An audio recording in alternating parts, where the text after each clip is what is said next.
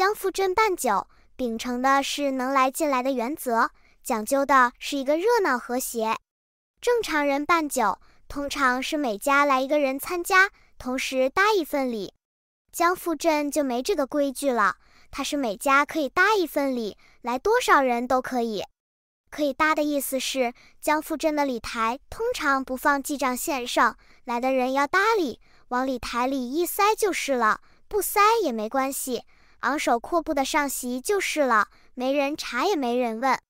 至于说为什么还要设礼台，那是为了方便有的人搭理搭得多，可以在红包上写自己的名字。江村的富人多，讲究人也就多。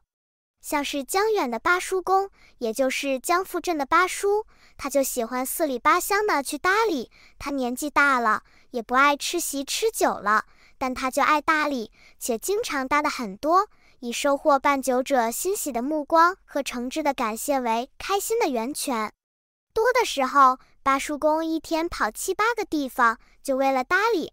不用担心他不知道哪里要办酒，那些专业办酒的公司和个人得有八叔公的微信是最基本的。江源等人以前都不太理解八叔公，后来直播兴起了，大家就理解八叔公了。跟网上打赏女主播相比，八叔公搭一次礼才千儿八百块的，撑死不过两三千。但他收获的何止是一名女子的感谢，他收获的是对方全家的感谢。有时候凑巧了，能收获对方整个家族祖宗十八代的感谢。江富镇这边就比较简单了，不仅江村人来吃，江村以外的人来吃也不受限制。反正就那么多的座位，坐满了，村里人认识的，随便扯个椅子就坐下了。江村到了今天，也有败了家的，也有外面来蹭的。江富镇从来不问。他和江远当年吃百家饭，也是吃了好几年的，如今富得流油，哪里在乎谁来吃饭？江富镇亲自掌勺，弄得热热闹闹的。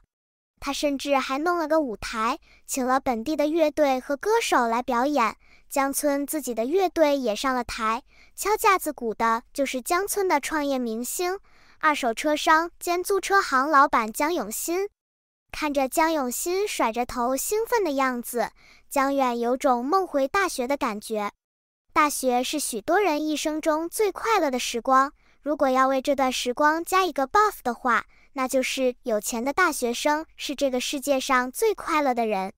成年以后要达到相同的快乐，要求就高了，起码得有一个事业有成的光环，最好还有个挂。嗡嗡，江远的手机响了起来，接起来一看是黄强民。黄菊，江远的情绪不算高涨，有种今日疲惫、不愿被卖的气息在里面。黄强民读懂了江远散发出来的气息，哈哈一笑：“今天不用你出门是好消息。你那边很吵啊，是在夜店体验生活？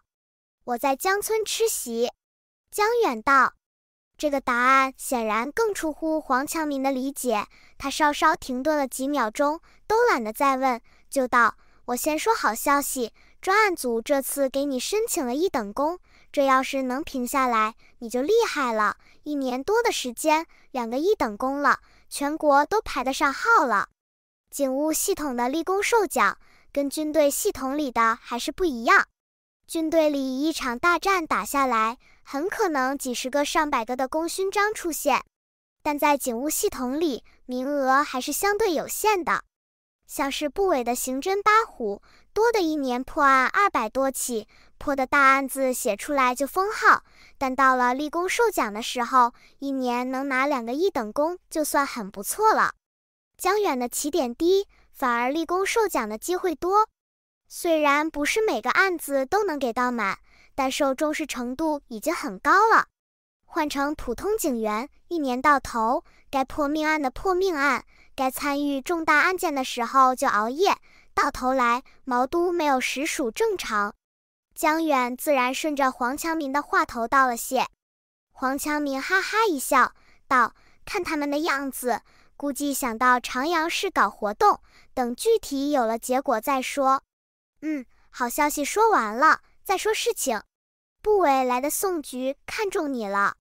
江远，宋局好眼力，放心，不用出门的活。黄强民也知道江远喜欢待家里，至少是待在宁台这边，否则的话，他也用不着留在宁台县局工作了。不过，人干活不见得就一定要有当地的编制，像是部委或者省厅这样的单位，他也放不出编制来，编制早就满了。还是以刑侦八虎举例，这里面的八只虎，大部分都没有部委的编制，仍然是在原本的单位里挂着名字和职务。这其实是两相便宜的事。部委固然是编制紧缺，民警到了部委，即使是有了编制，难道就不想要职务了吗？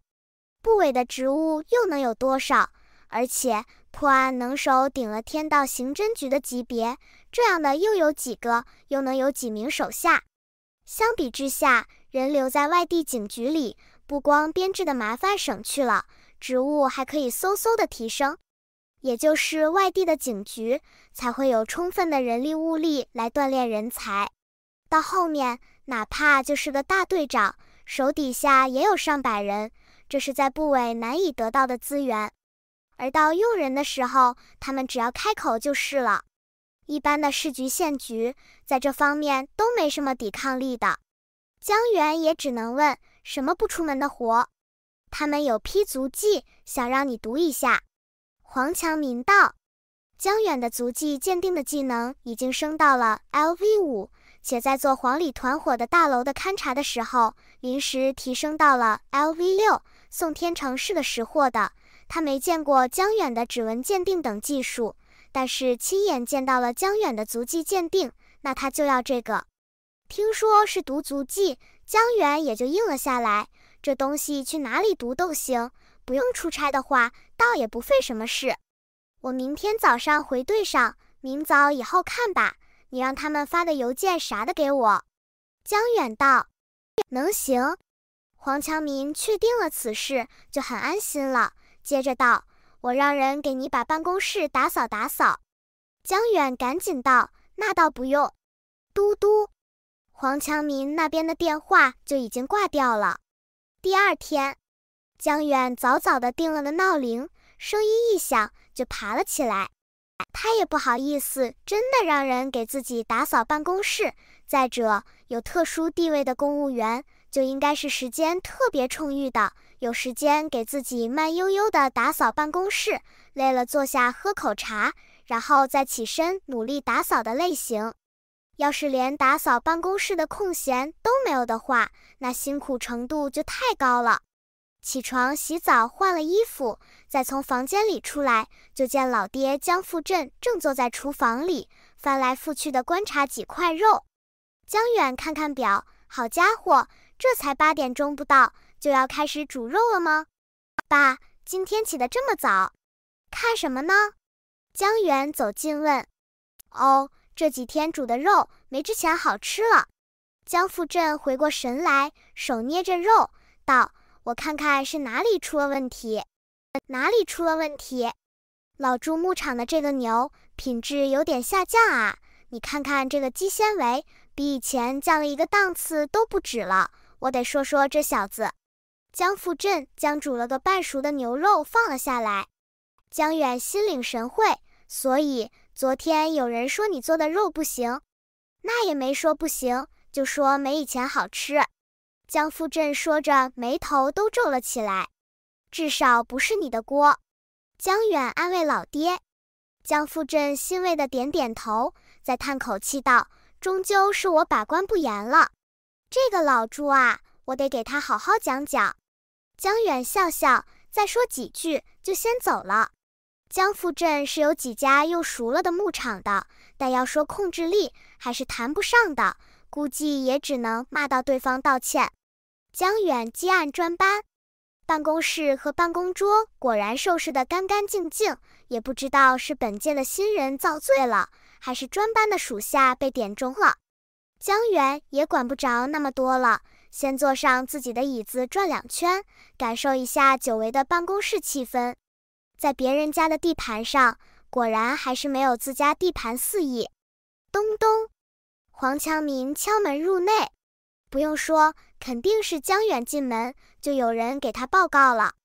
江远也不意外，还起身调侃道：“黄局这么迫不及待的，给你介绍一下，这是部委来的两位同志，崔小虎和李浩辰。”黄强民没接江远的话，介绍的还颇为正式。事实上也是，对宁台县局来说，两名部委来的干部，哪怕年轻的像是刚毕业没多久，也不用谈级别，天生就是领导。